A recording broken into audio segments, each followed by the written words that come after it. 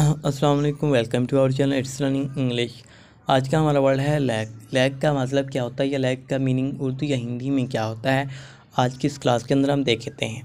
उससे पहले अगर अभी तक आपने हमारे चैनल इट्स लर्निंग इंग्लिश को सब्सक्राइब नहीं किया तो ज़रूर सब्सक्राइब कर दीजिएगा। आइए आज की क्लास का आगाज़ करते हैं।